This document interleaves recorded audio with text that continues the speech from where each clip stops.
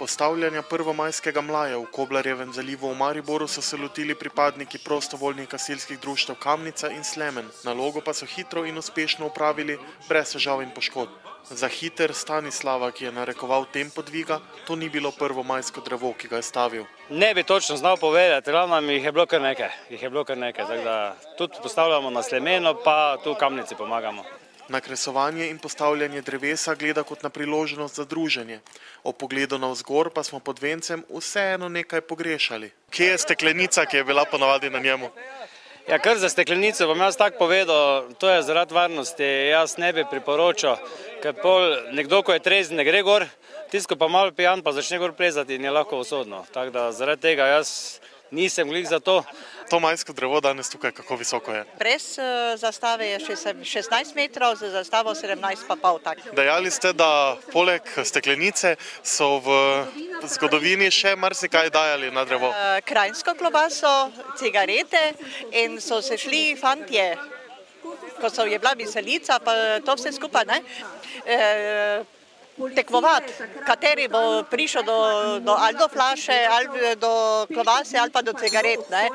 In to je bilo eh, tradicionalno. In to so se fantje najbolj mm, eh, pred dekleti eh, bahali. Ne? To je bilo zanimivo, je bilo. samo takrat sem še jaz kot otrok. Sami ste že morda kdaj plezali na Majpan? Ne, ni, nisem, nisem, ne, nisem.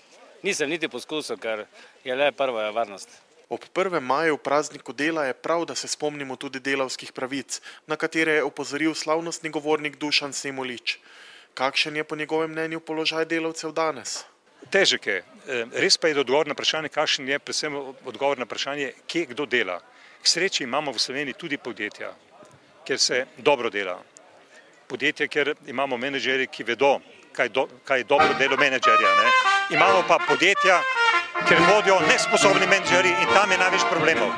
Kaj pa predsednik svobodnih sindikatov meni o ukinitvi nekaterih praznikov? Torej, napoved, da bi ukinili, kaže samo to, s kakšno filozofijo se srečamo pri teh predlagateljih. Ne?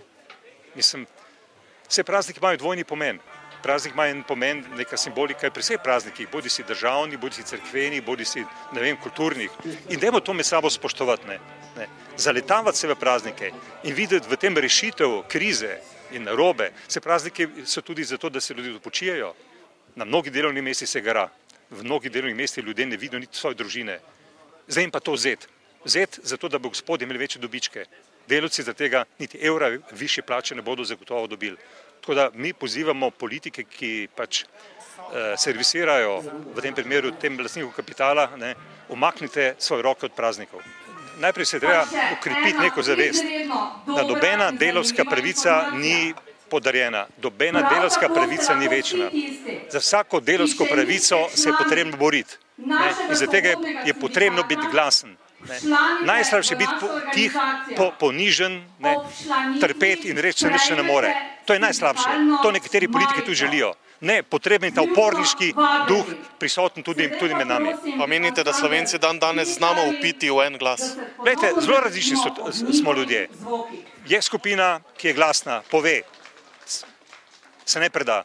So pa spet nekateri, ki pač obstanejo in rečejo, bo kar bo. Ampak rešitev ni v tej skupini, ki reče, bo kar bo. Skupin, rešitev je v tisti, ki reče, ja, moramo se boriti za nekatere pravice, ne, ne smemo obupati, moramo biti glasni, moramo se povezati tudi v sindikatih ne, in se boriti proti nekaterim receptom, ki dejansko so krivični.